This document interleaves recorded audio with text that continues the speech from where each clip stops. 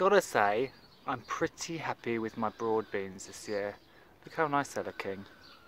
Looking really, really nice. And I forgot to do them last year. Uh, so these are actually January sown. Uh, they weren't overwintered. And we have actually, I've just spotted, look, broad beans. Um, so on the whole, these are looking really, really great. The flowers are obviously going over now. They are looking nice, healthy plants, but we are now starting to get a little bit of black fly. Now you can try and just squash and squish, but they love the growing tips, and so the best thing to do is come in and just take out that tip. And now I've removed that whole aphid colony.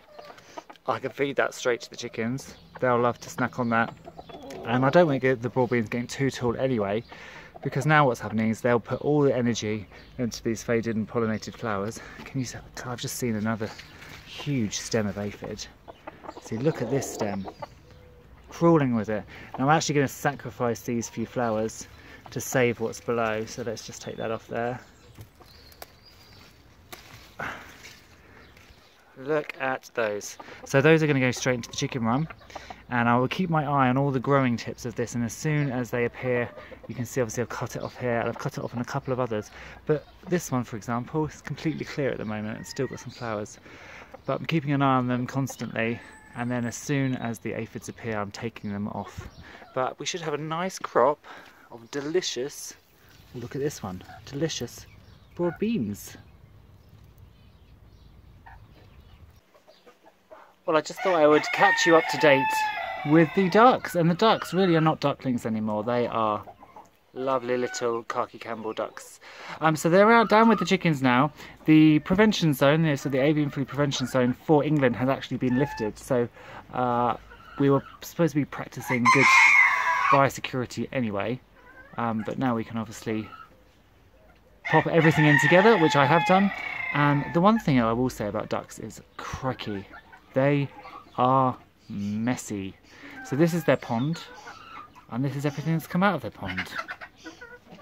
Yep, if you want a dry coop, don't have ducks. Um, so they are growing really, really well.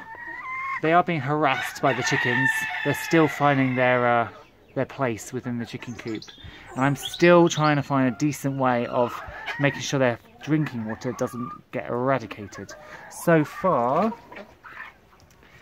I've done this. So I've got a tub of the water and I've put mesh over the top so they can still put their heads in and drink but they can't spill it everywhere. I've also put it inside a, a grow bag tray so that it prevents all of the moisture spilling all over the sawdust because that's the other issue I've had.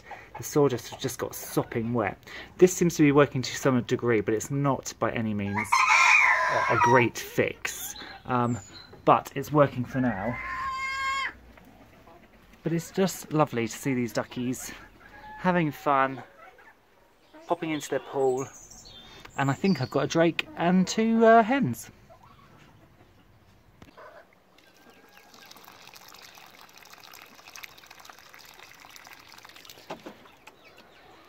So that is me just watering my little peach tree. I'm really happy with this little peach tree. I actually found this as a stone. It was just a, a peach stone thrown into a flower bed and it had uh, germinated and this is the second year and it's grown into this. Now I have no idea whether it'll be any good for fruiting. Um, obviously it the plant that it came from fruited and was uh, not sterile because it's produced this lovely little tree but whether this actually goes on then to flower and fruit I don't know but it was a free and I'm assuming it's a peach, I think it's a peach stone, um, lovely little tree. So I've actually been keeping it in the greenhouse, so it's nice and warm, giving it lots of water. I've just potted it up, and I'll pot it up again as the growing season goes on. But if anybody knows about growing peaches, and indeed whether this actually even is a peach, uh, then please let me know. Well, if you watched yesterday's new series, The Chick Check, you will know there are new chicks. And here they are. Hiding under here. Hi guys! So there are four of them and they are featuring in our new Chick Checks. We're going to follow them for three months. see how they develop. They're lovely little things. So they are actually from the layers flock. I did a random assortment of eggs and we only had four hatch. I only put in nine eggs, I think. And they were all fertile, but a couple of them had the red ring of death.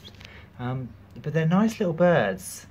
And you can see this one in front, this little sort of gingery one, is a Poland of some form, I think. Um, and then the one at the back, I'm wondering whether it might be an Ayam cross. And then we've got these other two little ones. They're already, you know, they're only a couple of days old. They're already getting their wing feathers. Delightful little guys. So make sure you check in with our new series. Uh, it will take the place of Chicken Check-In on a Wednesday. Uh, and it'll be chick check and we're going to follow these little guys all the way from tiny chicks to adulthood so it should be fun